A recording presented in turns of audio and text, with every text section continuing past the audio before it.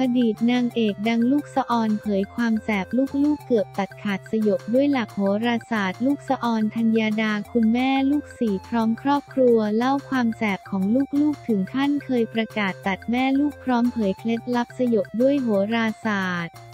เปิดใจครอบครัวอดีตนางเอกดังลูกสะออนธัญญาดาคงอูดสามีและลูกๆทั้งสี่น้องฟลี่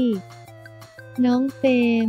น้องเฟรย่าและน้องโฟดแต่ละคนมีความแสบต่างกันจนทำเอาคุณแม่สุดเพอร์เฟกต้องปวดหัวจี๊ดพร้อมเผยเคล็ดลับสยบลูกอยู่หมัด เพราะใช้หลักโหราศาสตร์เข้าช่วย และยังสอนลูกถึงเรื่องความรักทุกประเด็นในรายการคุยแซบโชว์ออกอากาศทางช่องวัน 31 ที่มีพี่เคปิยวัฒน์และเป็กกี้สีธัญญาดำเนินรายการบ้านนี้หน้าตาดีหมดเลย ลูกเกดอนที่มีลูกออกมาส่วนใหญ่ทำเด็กหลอดแก้ว คุณหมอก็คงจะเลือกตัวอ่อนที่แข็งแรงที่สุด เลยออกมาสมบูรณ์มีคนแรกคนเดียวที่เป็นธรรมชาติ ที่ลูกเกดอนตอนเด็กถูกเลี้ยงเหมือนตุ๊กตาไขลาน ลูกเกดอน คือพี่กับคุณแม่สนิทกันมากคุณ แม่เป็นแม่เลี้ยงเดี่ยวคุณ แม่ต้องการให้พี่เก่งในทุกด้าน วางตารางเรียนเป็นรายอาทิตย์ชั่วโมงไหนยังว่างก็เอาไปเสียบอีก คุณแม่บอกเองว่าพี่เหมือนตุ๊กตาไขลานฉันจับเธอไปตั้งตรงไหนก็ไขลาน เธอก็เต้นเต้นเลยทำให้เป็นคนที่ perfectionist ลูกเกดโอน มันทำให้พี่เป็นคนจัดการไม่เป็น ส่งผลให้มาถึงตอนเลี้ยงลูกตอนเลี้ยงลูกมีปัญหามาก เพราะพี่เป็นคนที่ไม่เคยต้องไปดูแลใคร ไม่เคยต้องจัดการใครเราเลี้ยงลูกยากมากตกใจ เพราะพี่เป็นคนเลี้ยงง่ายชี้ไปทางไหนก็ไปสิ่งแรกที่ขอสามีเลยตอนแต่งงานสะอ่านขออย่างหนึ่งจะมีลูกห้าคนโอเคไหมขอเลยสามีบอกได้เลย อูดสามี ผมมาจากครอบครัวใหญ่ทำไมต้องครอบครัวใหญ่อีกแล้ว รู้สึกว่ามันวุ่นวายขอสักสองคนได้ไหมลูกเกดโอนเราคิดว่าเลี้ยงง่ายเรามองจากตัวเราเองเราไม่เคยคิดว่าเด็กยุคนี้จะเป็นแบบนี้ เห็นบอกว่าหนึ่งในสี่มีคนหนึ่งที่โคลนนิ่งแม่มาเลย ลูกเกดโอน ช่ค่ะคือลูกคนนี้เป็นเหมือนตัวพี่แบบที่สามารถให้เขาทำทุกอย่างแทนได้ คือคิดเหมือนกันทำทุกอย่างได้เหมือนกัน มีอยู่วันหนึ่งเคยไปขอร้องไม่ต้องเรียนหนังสือก็ได้นะลูกเพื่อจบจะไปทำงานใช่ไหมคะพี่บอกลูกลาออกเลยแล้วมาเป็นเลขาแม่ทำงานให้แม่ตลอดชีวิตไปเลยก็ได้ เพราะเขารู้ใจทุกอย่างคือคนนี้ เฟรย่า รู้สึกว่าแค่เวลาคุยกับคุณแม่ทุกอย่างจะความคิดตรงกัน บางทีคุณแม่ยังไม่เปิดปากพูดหนูก็จะแบบอย่างนี้ใช่ไหมคะ คุณแม่คิดอย่างนี้ใช่ไหมจนมีวันหนึ่งคุณแม่บอกว่าเฟรจะมีเพื่อนมีแฟนคนไหน คุณแม่ก็จะบอกเลยว่าแฟนลูกคือแฟนแม่นะเฟรมีอะไรเฟรก็จะปรึกษาคุณแม่ทุกอย่าง เวลาตัดสินใจคือความตัดสินใจร่วมกัน ถ้าแม่ไม่โอเคเฟรไม่ทำเมื่อไรที่แม่โอเคเฟรโอเค มีคนไหนที่คนละขั้วกับคุณแม่ไหม ลูกเกดโอน คนนี้ลื่นไหลเป็นปลาไหลเลยพี่จับไม่อยู่เลย ลูกสาวคนนี้เป็นคนเหมือนคุณพ่อ ที่เป็นคนตรงมากเป็นคนที่เดินเป็นเส้นตรงแบบไม้บรรทัดเลย แต่ลูกสาวจะเป็นคนหัวไวคือไวซะจนแม่ตามไม่ไหว พี่ก็เลยทะเลาะกับเขาบ่อยตอนที่เขาเรียนจบใหม่ๆ พี่เอาเขามาทำงานกับพี่ก่อนปรากฏเราจะเดินดีลงานตรงๆเนี่ยลูกสาวจะไม่โอยพี่ฟังแล้วไปด้วยกันไม่ได้เด็ดขาดไปหาป้าป้าสุดท้ายไปทำงานที่โรงแรมกับคุณอูดเป็นธุรกิจของคุณพ่อถูกคอกันเลยค่ะคือเป็นคนพลิกแพลงทั้งคู่คุณพ่อก็พลิกแพลลงเก่งมาก แล้วแฟรี่รู้สึกแบบนี้ไหมต่างกับแม่เลยไหม ลี่ เนื้อนิสัยจริง ๆ แล้วมันอาจจะแค่ไม่ตรงกัน แต่ว่าในความที่เราไหลอย่างนี้ เรามองว่าเรามีจุดยืนที่อาจจะไม่ได้ทำผิด แต่มันเร็วกว่าทางนี้ เราก็ไปทางนี้หน่อยละกันอะไรอย่างนี้ค่ะ เหมือนเรามองต่างกัน ความที่คุณแม่เป็นคนตรงมากเวลาแฟลี่ทำพลาดอะไรพอคุณแม่มาบอกมันก็เออจริงสิ่งที่เราทำมันก็อาจจะไปไกลไปนิดแล้วเคยอธิบายให้พ่อแม่ฟังไหมว่าวิธีนี้มันดีกว่า ลี่ก็เคยค่ะแต่ว่าสุดท้ายแล้วพอเราฟังแม่คือดีที่สุด เราเจอปมเองหรือว่าเรายังไหลไม่สุดก็ไม่รู้ อาจจะยังเทพไม่มากพอสุดท้ายพอเจอปมก็จะกลับมาฟังคำคุณแม่ มันก็จริงค่ะ ลูกเกดโอนแต่กว่าจะเอาได้คือเหนื่อยนะคะ ทะเลาะกับเขาเยอะมากเป็นตัวของตัวเองอูดสามี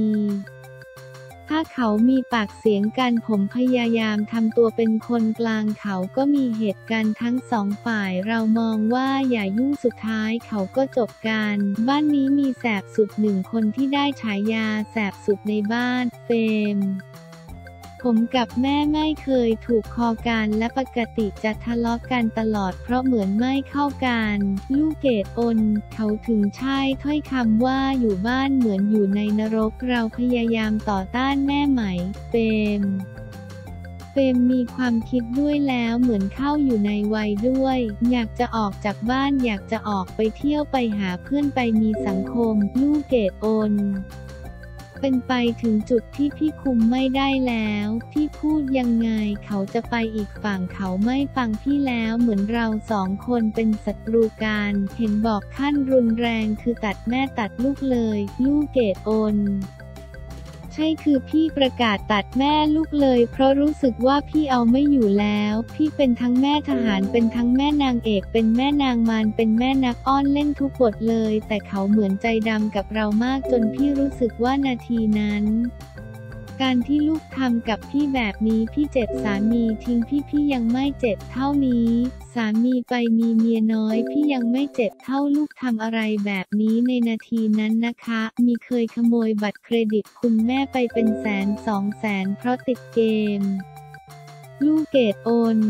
มีครั้งหนึ่งที่สุดมากๆเลย เขาเอาบัตรพี่ไปรูดเสร็จแบงก์ก็ระงับ เพราะรู้สึกแปลกๆ พี่ก็เอาเรื่องนี้มาเล่าให้ลูกทุกคนฟัง แม่กลุ้มใจใจใครมาทำแบบนี้กับแม่แล้วแบงก์ก็เปิดให้ใหม่ไม่ถึงสองอาทิตย์ระงับอีกแล้ว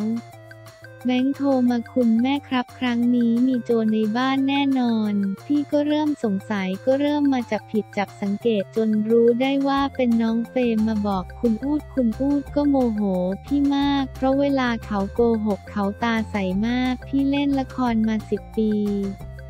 พี่สู้เขาไม่ได้แบบเนียนมากจนคุณพ่อว่าพี่อะไปจะผิดลูกจนสุดท้ายพี่ได้หลักฐานจนเขามายอมรับพ่อหน้าเหวอวูดสามีไม่น่าเชื่อว่าจะขนาดนี้หน้าตาตอนเขาพูดคือไม่รู้เรื่อง ไม่มีทางเป็นไปไม่ได้ เปลี่ยนลูกยังไง ลูกเกดโอน ทุกวันนี้เปลี่ยนเลยกลายเป็นลูกที่ดีมากๆ เปลี่ยนเบอร์ใช้โหราศาสตร์เข้ามาช่วย แล้วเอาเรื่องคุณธรรมเข้ามาสอน ถ้ากระตันอยู่กับแม่ลูกจะเจริญรุ่งเรืองพลิกเลยเฟม แม่ทำอะไรหรือเปล่าทำไมเฟมไม่รู้สึกอยากจะออกไปข้างนอก ไม่อยากออกไปเที่ยวอยากอยู่บ้านอ่านหนังสือตั้งใจเรียน ลูกเกดอนอ่านหนังสือจนร้องไห้จากเด็กที่เที่ยวตลอด นั่งร้องไห้เพราะกลัวอ่านไม่ทันเฟมตอนเด็กๆ เหมือนผมคิดเข้าข้าง แต่ตัวเองอยากทำสิ่งที่ตัวเองจะทำลูกคนอื่นๆ ลูกเกดอน คนนี้โฟเป็นเด็กที่เลี้ยงง่ายที่สุดง่ายจนพี่กลัวในสมัยลูกเล็กสามีชิวมากไม่เคยช่วยอะไรพี่จะสอนการบ้านลูกคนเดียวน้องเป็นคนสอนภาษายากมาก แต่วันหนึ่งเขาก็เปลี่ยนโฟผมเดินไปบอกแม่ว่าผมรู้ตัวว่าเรียนไม่ค่อยเก่ง ผมบอกว่าไม่เป็นไรนะ ถ้าจะรักคนอื่นมากกว่าผม ลูกเกดโอน เดินมาบ็อกซื่อบ็อกซื่อเลยรู้ว่าเขาไม่ได้ประชดไม่ได้โกรธพี่ทำไมลูกคิดแบบนี้เราไม่คิดว่าลูกคิดแบบนี้คนนี้จะเงียบนิ่งอยู่กับตัวเอง พี่ต้องพลิกเลยพยายามดึงเขาเข้ามาหาเราส่วนพี่อูดบอกเด็กพูดไม่รู้เรื่องโตแล้วพี่ค่อยมาช่วยเลี้ยงแล้วทำที่เขาพูดจริง ๆ โตมาลูกรักเขาทุกคน มีลูกไม่แปลงฟันเจ็ดวัน ลูกเกดโอน เราต้องบอกให้ลูกมาแปรงฟันเรียกทุกวัน พอลูกแปรงไม่สะอาดเราก็แปรงให้ แล้วคุณพ่อเขาบอกว่าให้ลูกได้เรียนรู้ด้วยตัวเอง เราก็โอเค แกล้งไปถามลูกน้องโกดไม่แปรงฟันกี่วันแล้ว8-9วันเราก็โมโหโกรธคุณพ่อมาก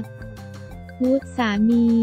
มุมมองของพ่อผมถูกเลี้ยงดูมาคุณพ่อคุณแม่ทำงานตัวเป็นเกลียว ไม่มีเวลาดูแลลูกๆขนาดนี้ผมก็รอดมาได้ก็มีฟันผุแม่ก็พาไปหาหมอถอนฟันเจ็บด้วยตามประษาเด็กแต่ทางคุณแม่แฮปปี้ผมก็ไม่ได้ว่าอะไรแต่ตอนเขาทำเขาเครียดเพราะเขาเป็นคนจริงจัง ตอนเด็กทะเลาะกกันเองไหม ลูกเกดโอน แรงทั้งคู่เฟรย่าคือเฟรเป็นเด็กที่แกร่งมากแบบที่หาเรื่องไม่ยอมใครรู้สึกเรามีจุดยืนที่มั่นคงความคิดที่มั่นคง เราทะเลาะกับเฟมแล้วเฟมเป็นคนกวนประสาทแปดขวบเข้ามาสิเข้ามามีอะไรเหรอเฟมก็เข้ามาเลยแล้วถีบเฟร ถีบติดกำแพงลงไปกองกับพื้นทำไมพี่ชายเรากล้าทำแบบนี้เกรก็วิ่งไปฟ้องแม่เราไม่น้ำตาไหลเลยในใจเรารู้สึกชนะ เพราะเราได้ฟ้องแม่แกร่งทั้งคู่ไม่ยอมกันเกรเป็นคนที่แบบผู้ชายก็ยอมไม่ได้เฟม ตอนนี้รู้สึกแย่แต่ตอนนั้นรำคาญมากเลย ลูกสะออน ตอนนั้นโกรธลูกชายมาก เพราะเป็นผู้ชายทางนี้ก็จะมีปัญหากับพี่ตลอด มีแฟนกันแล้วหรือยัง ลี่ตอนนี้ก็มีนิดนึงแต่เราเชื่อแม่อะไรที่แม่ว่าดีก็ดีตามค่ะเฟมมีครับได้ปีกว่าแล้วครับโฟดมีแล้วครับสองปี เฟรย่า เพื่อนค่ะตอนนี้ถือว่าโสดค่ะ สอนลูกถ้าจะมีแฟนลองคบคบดูก่อนไม่ต้องรีบมีคนเดียว ลูกสะออนอาจจะมาจากประสบการณ์ที่เองเห็นหลายคู่ที่เป็นแฟนกันตั้งแต่เด็กสุดท้ายไม่หาตัวเลือกอื่นไม่เปิดโลกที่เห็นส่วนใหญ่จะล้มเหลวในบ้านปลาย เพราะผู้ชายยังไม่เห็นโลกพอแต่งงาน งานเงินเขาพร้อมไปเปิดโลกแล้วจะทำให้เกิดปัญหากับครอบครัว พี่บอกลูกๆว่ามีความสุขสนุกกับชีวิตในวัยหนุ่มสาวให้เต็มที่ เอาให้มั่นใจแล้วค่อยเลือกลูกชายเข้าใจ แต่ถ้าเป็นลูกสาวแม่จะสอนว่าไงลูกสะออน ลูกสาวคุณพ่อจะสอนเป็นหลักสอนอีกแบบหนึ่งเลย พูดสามี ลูกชายลูกสาวแตกต่างสุดขั้วเลย ลูกสาวนี่บอกเราต้องให้ผู้ชายตามเรา เชื่อเราถ้าพูดไม่ฟังตัดออกไปหาใหม่เราต้องมีความมั่นใจในตัวเอง แต่พอลูกชายจะบอกว่าอย่าหาผู้หญิงที่เรื่องเยอะต้องตามเราผู้ชายต้องเป็นเสาหลักของครอบครัว ให้เขาเป็นช้างเท้าหลังพอเขานั่งฟังคืออะไรผู้ชายอีกทางผู้หญิงอีกทาง ลูกสะออน พี่เห็นด้วยผู้หญิงถ้าคุมแฟนไม่อยู่พี่ไม่อยากให้คบเลย เป็นแฟนกันยังแบบนี้เรามีประสบการณ์มาแล้วว่าถ้าแต่งงาน ความรักยังไงก็ตามมันมีวันจืดจาง คลิปสัมภาษณ์ลูกสะออนพร้อมครอบครัว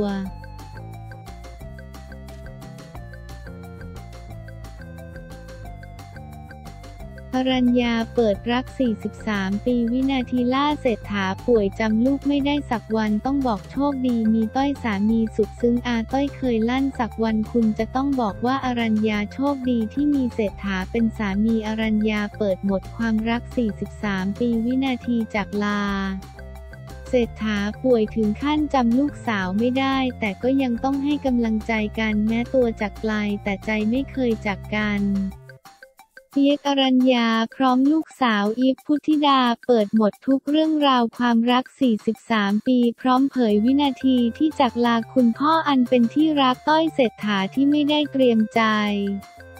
รักแท้แม้กายจะห่างกันตลอดการแต่ใจไม่เคยจากกัน เพราะความรักของต้อยเศรษฐาแอนเปียกอรัญญาที่มีให้กันตลอด 43 ปี และมีลูกสาวอันเป็นที่รักอีกพุทธิดาเป็นโซ่ทองคล้องใจนั้นก็มีเรื่องราวมากมายให้ได้จดจำ แต่เมื่อคนหนึ่งต้องจากไปไกลทุกอย่างก็เหลือไว้เพียงความทรงจำที่สวยงาม เมื่อได้มาเป็นแขกรับเชิญคนพิเศษในรายการคลับ Friday โชว์ผลิตโดย CSANGE 2561 คุณแม่เปียกอรัญญาพร้อมลูกสาวอิฟพุทธิดา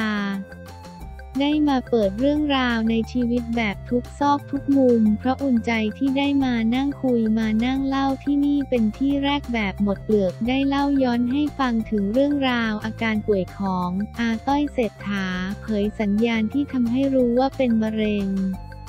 และท้อแท้จนเคยพูดกับลูกสาวว่าปล่อยให้พ่อตายเถอะไม่อยากอยู่แบบนี้ และสิ่งที่ทำให้กีฟพุทธิดาถึงกับใจเสียที่สุดเมื่อรู้ว่าคุณพ่อ อาต้อยเศรษฐาป่วยถึงขั้นจำลูกสาวไม่ได้ แต่ก็ยังต้องให้กำลังใจกัน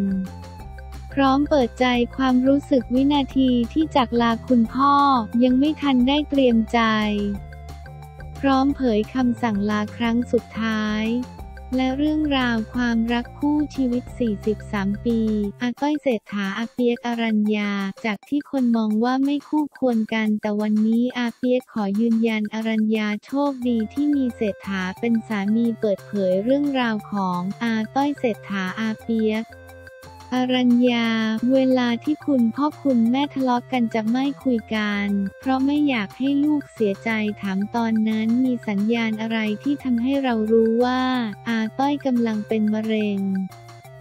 อรัญญา อยู่ดีๆ วันหนึ่งที่เขากลับมาจากที่ทำงานนี่แหละค่ะ เขาก็ตะโกนเรียกแม่แม่เราก็บอกว่ามีอะไรคะเขาบอกว่าเขาไอออกมา แล้วมีเลือดเป็นลิ่ม ถามเท่าที่สัมผัสอาต้อยมีเขวไหมยิบพุทธิดา